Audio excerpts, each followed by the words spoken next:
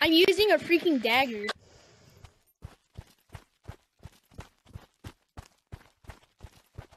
Die! Size does not matter. I don't know, your mom thinks so.